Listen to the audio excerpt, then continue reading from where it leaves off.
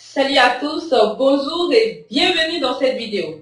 Alors aujourd'hui nous allons parler de quatre choses qui sont très importantes à savoir sur les hommes et que personne ne vous dira jamais. Alors vous avez fait des relations qui n'ont pas abouti au mariage, vous n'arrivez pas à faire des relations qui durent dans le temps, vous n'arrivez pas à construire quelque chose avec un homme et vous vous demandez d'où ça peut bien venir. Alors cette vidéo est en réponse pour toutes vos questions. Restez jusqu'à la fin de la vidéo. Abonnez-vous à ma chaîne YouTube Mentor Auréole si ce n'est pas encore fait et activez la cloche de notification. Let's go. Alors, tout ce que je vais vous dire dans cette vidéo, c'est des choses que j'ai expérimentées moi-même.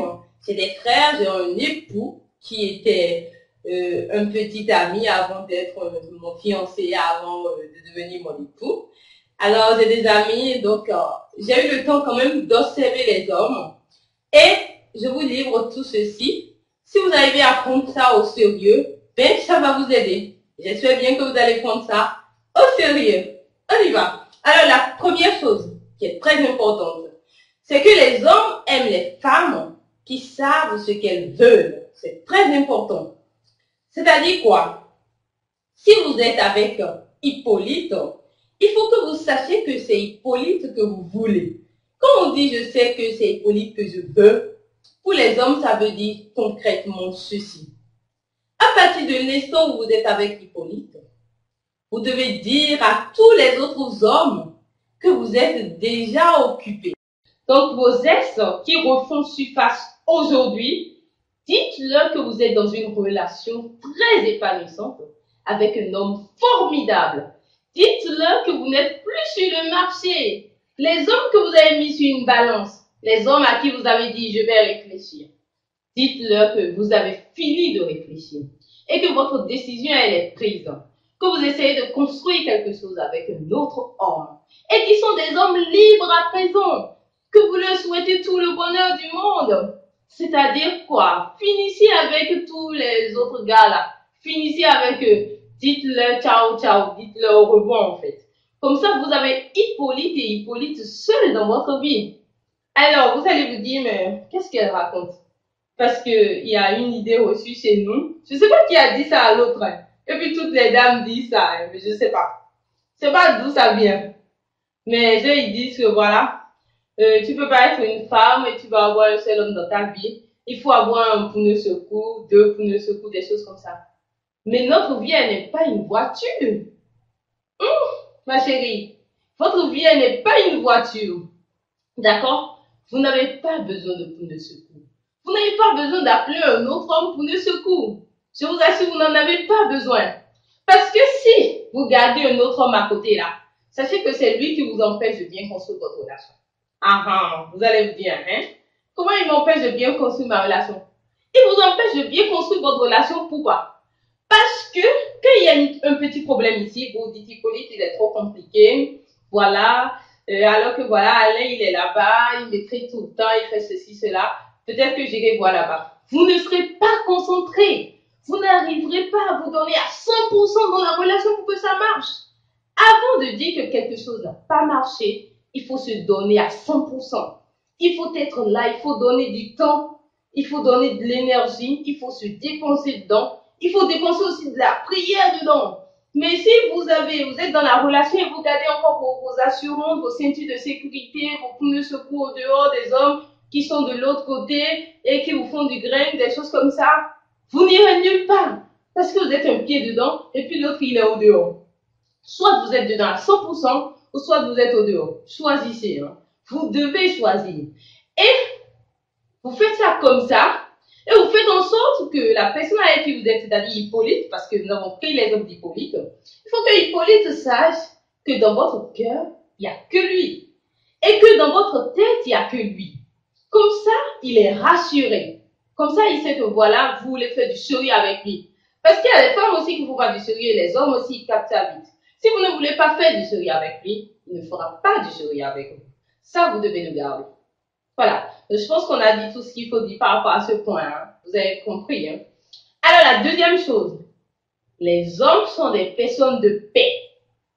Je vous ai dit ça maintenant. Hein. Les hommes sont des personnes de paix. Des fois, ils ont des comportements qui ne permettent pas d'entretenir la paix. Ils peuvent dire des choses, ils peuvent poser un acte qu'ils ne calculent pas forcément et qui ne permettent pas d'entretenir cette paix-là. Mais les hommes, ils aiment la paix. Donc, si vous voulez garder un homme, sachez que vous devez être une personne de paix.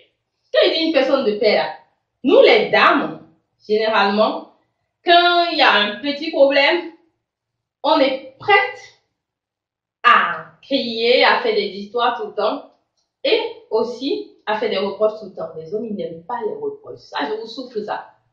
Il n'y a pas cet homme-là. Vous pouvez trouver de rares hommes que ça ne déplaît pas forcément. Mais les hommes n'aiment pas les reproches. Je vais vous donner un exemple tout simple.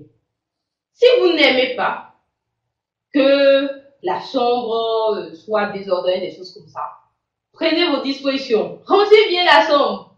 Au final.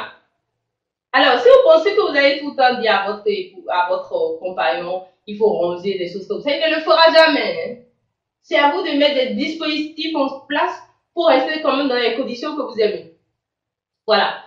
Alors, si vous aimez que votre compagnon, il porte des tenues qui sont propres, des choses comme ça, ne lui dites pas pourquoi tu ne laves pas tes vêtements. Non. Il ne faut pas lui dire ça. Prenez la responsabilité de laver ses vêtements. Si vous n'avez pas une machine à laver, faites-le par vous-même. Si vous ne voulez pas le faire par vous-même, recrutez une personne pour le faire à votre place. Et maintenant, s'il continue de porter des tenues qui sont sales, là vous pouvez lui dire, mais chérie, pourquoi tu portes des tenues sales? Porte ça là, c'est moi qui ai la va dire non, moi je ne veux pas gâcher les tenues. Vous allez dire non, c'est moi qui lave ces tenues et je voudrais que tu portes des tenues propres. C'est pareil si vous voulez lui coudre des tenues, des choses comme ça. Voilà. Donc, essayez d'éviter au maximum hein les, disputes, les histoires, les histoires inutiles. C'est-à-dire, il va venir, il va vouloir dormir, vous allez commencer de petites histoires de dames là. Ou bien vous étiez sorti, il a regardé une fille, euh, un peu comme s'il voulait la draguer, des choses comme ça. Oubliez! Je vous assure, oubliez. Parce que si vous en faites de trop, il sera fatigué et il va sortir. Et s'il sort, vous ne savez pas là où il va. Les hommes vont chercher leur paix. C'est-à-dire, s'il y a de, si c'est trop chaud à la maison là, si c'est trop chaud auprès de vous, il ira au dehors chercher sa paix. Et s'il va chercher sa paix, vous ne savez pas là où il va. Est-ce qu'il va chez vos belles-sœurs? Mm You don't know. Est-ce qu'il va chez, je sais pas, chez une autre femme au dehors? Uh You don't know. Vous ne savez pas. Alors, est-ce qu'il va draguer d'autres femmes? Uh Vous ne savez pas. Alors, évitez de le faire fuir de la maison tout le temps. C'est important que vous évitez ça. Comme ça, ça voudrait pas dire que si un homme il veut faire des bêtises, il va pas faire. Mais évitez que ça vienne de vous. On crée un climat de paix à la maison. Pour que si le monsieur il vient, il sache que ah, bien là, je vais dormir. Ma femme elle a bien préparé ou bien ma copine elle a bien préparé un bon repas, je vais manger, je vais dormir. Et si vous avez des reproches à lui faire, s'il y a des choses que vous n'aimez pas, il faut pas que la chose prenne une allure de reproche ou une allure de dispute. Non. Dites tout ça pendant que vous êtes en paix, dites ça dans le calme. C'est vrai que pendant qu'il dit ça, maintenant, allez dire, hein? Qui veut se disputer, se disputer dans le calme? Mais faites l'effort de dire ça en étant posé, en étant calme, de dire les choses doucement. Ah, tu sais, telle chose que tu m'as fait à tel moment, je n'ai pas apprécié. Et donnez-lui le micro. Vous savez, des fois, hein, moi, je me rappelle quand j'étais au début de la relation avec mon époux, il y avait des choses qu'il faisait, moi, j'interprétais mal. Et, et c'est pas forcément l'interprétation que je donne à la chose qui, qui est la vérité. Si on lui donnant le micro, en lui disant, mais pourquoi tu as fait ça? Que je comprends peut-être que c'était mon bien qu'il recherchait. Ou peut-être qu'il était dans des problèmes. Vous voyez? Vous appelez peut-être votre compagnon, il ne décroche pas. C'est pas parce qu'ils a voté votre appel. Pas forcément. Peut-être qu'il est dans un problème actuellement. Et il ne peut pas décrocher le téléphone. Donc, vous devez comprendre ces petites choses-là. Hein? Capter ces petites choses et puis ça va aller. Ça va aller, par la grâce de Dieu. Mais, la troisième chose. Les hommes là, celui qui a chanté et qui a dit que les hommes sont des enfants, il n'a pas menti. Les hommes ne sont pas des enfants au sens de voilà, on va leur donner des ordres parce qu'ils détestent ça. Ils ne sont pas des enfants dans ce sens-là. Mais les hommes, ils aiment qu'on prenne soin d'eux. Ça là là, c'est tellement vrai. C'est tellement vrai. Si vous avez un compagnon, vous devez prendre soin de lui. C'est-à-dire que vous devez être assez petit soin, vous devez lui, préparer bien à manger, vous devez faire tout ce, en tout cas, tout ce qu'il faut faire pour l'entretenir, vous devez le faire. C'est ça en fait. Alors les hommes, ils aiment vraiment qu'on prenne soin d'eux.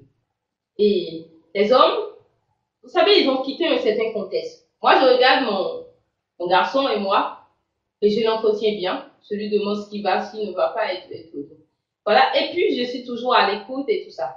Et même au-delà de moi, son père aussi fait pareil. Donc, les hommes, ils veulent quitter une maman pour une autre maman, mais pas une maman qui va leur donner des ordres cette fois-ci, mais une maman du côté de la bienveillance. Vous voyez? La bienveillance, du côté de, de l'empathie, du côté de, voilà, la présence et tout ça. C'est ça, en fait. Donc, soyez présents. Soyez euh, vivantes. Soyez là pour lui, en fait. C'est que si, s'il a des besoins, écoutez-le et essayez de voir si vous ne pourrez pas l'aider. Toute la bienveillance dont vous pouvez faire preuve, faites preuve de ça envers lui. Vous voyez, les hommes ne veulent pas d'une femme qui est intéressée que par leur argent. Parce que les hommes savent que voilà, si tu prends une femme, tu vas lui donner à manger, tu vas lui faire des cadeaux de temps en temps, des choses comme ça. Mais il faut que ça aille au-delà. Je vous donner un exemple tout simple, un exemple. Alors, il y a une femme qu'on appelle Judith. Et puis il y a une autre qu'on appelle Brigitte. Alors, Judith, elle, est très gentille. Vous voyez, elle est très gentille. Quand elle vient chez, chez Hippolyte, parce que c'est d'Hippolyte qu'il s'agit, l'homme, le mâle, c'est Hippolyte. Donc, quand elle vient chez Hippolyte, elle nettoie tout, elle lui prépare à manger, elle fait le lit, des choses comme ça, et voilà, elle rentre chez elle. Quand elle rentre après, ben, chaque jour, elle appelle Hippolyte, comment tu vas, tu as mangé aujourd'hui, tu as pris ce que j'ai préparé dans le congélateur, il faut réchauffer, des choses comme ça. Est-ce que ton travail, ça s'est bien passé, la présentation et tout, et tout?